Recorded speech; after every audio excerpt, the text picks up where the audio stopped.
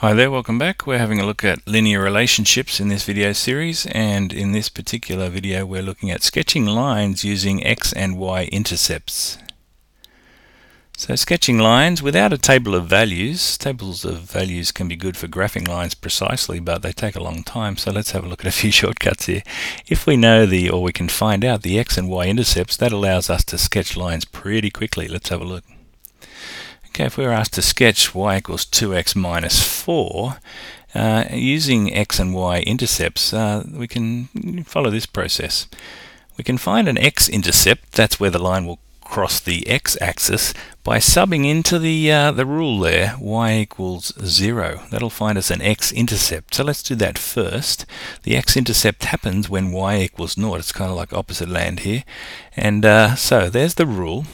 If we sub in y equals naught, we're just putting a replacing the y with a zero there, and we solve the resulting uh, equation here. Now, to get x on its own here, we would need to move the minus 4, so we'll add 4 to both sides. This is just solving this equation. It's not the hardest equation known to man either.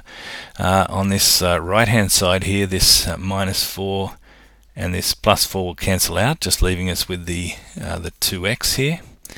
And then to get rid of the uh, 2, because uh, we need to get the x on its own here, we will divide by 2 both sides. And on this uh, right hand side, they'll cancel each other out nicely, leaving us with x equals 4 divided by 2 or 2. So x equals 2. So we subbed in y equals 0 to find the x-intercept, and we've discovered that uh, that the x-intercept is 2. Okay, we'll keep that up in up our sleeve for later when we want to um, sketch uh, this line, y equals 2x minus 4 on the number plane. Okay, we've found the x-intercept. Now, to find the y-intercept, as uh, step 2 here, we sub in x equals 0 this time. So the y-intercept happens when x equals 0. So we've got our rule here. If we replace the x with a 0, two lots of 0 is 0, minus 4 is minus 4.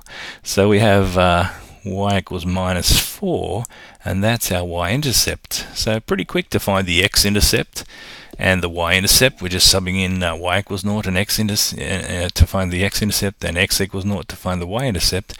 Pretty straightforward uh, algebra there involved there. So we've uh, got those two results, x-intercept of 2, y-intercept of minus 4, and uh, we'll keep that as our main ideas uh, for plotting this on the number plane here. So here's our number plane. The next step, now that we've found the x-intercept and the y-intercept, is to plot them. Plot the x-intercept. Now the x-intercept is 2, so I've shown you by the arrow there, that's uh, indicating on the number 2 on the x-axis.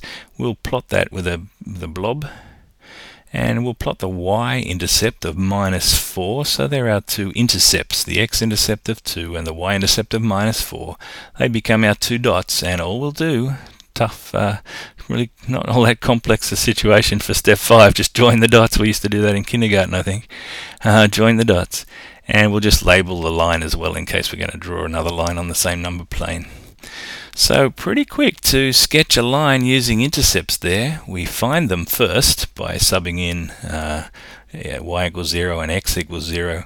And then once we position those on the number plane, we can just join the dots and label it up. So pretty quick. It'll save us drawing up a table of values and uh, can be a pretty pretty uh, swift method there that uh, saves us a bit of time, particularly in a test.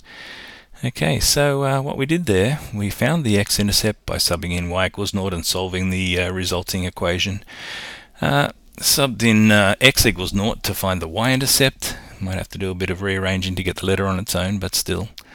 Then we plotted the x-intercept, we plotted the y-intercept, we joined the dots, and then we labeled the line.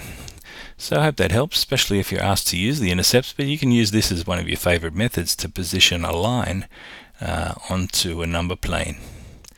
Thanks for listening. See you next time for some more linear relationship videos. Anytime you like to uh, check on some maths for some revision or some practice, peterblakemaths.com.